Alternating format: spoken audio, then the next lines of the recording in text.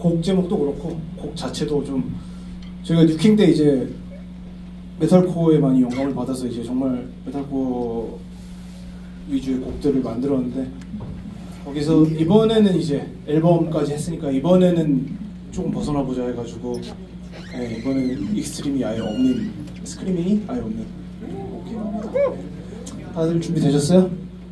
네. 그러면 가죠. 수라 들려드리겠습니다.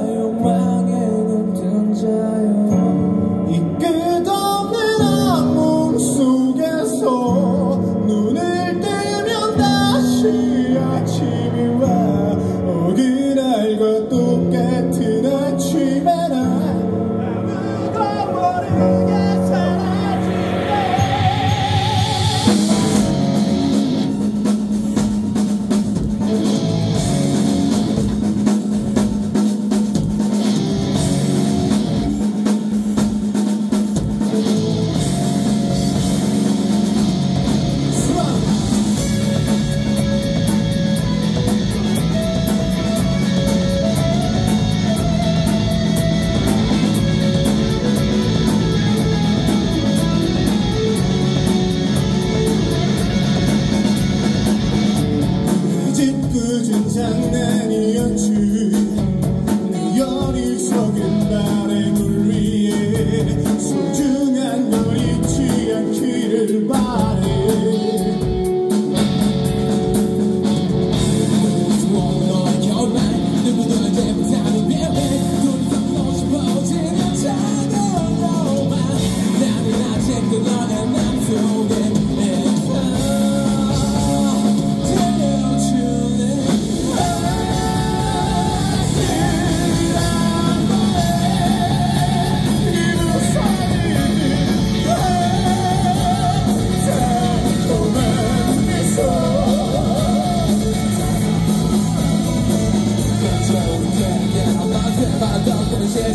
I'm your down and I will travel, but you have you're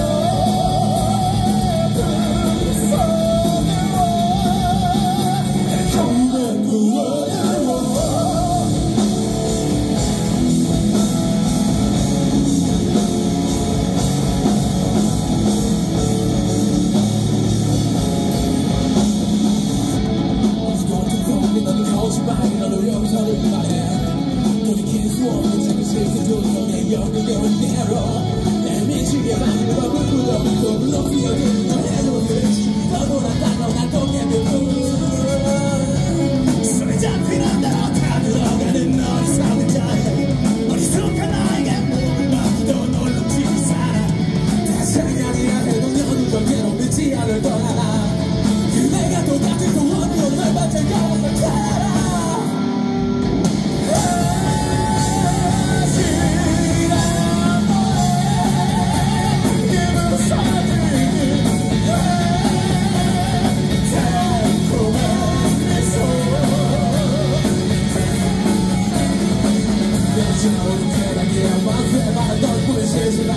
Yo,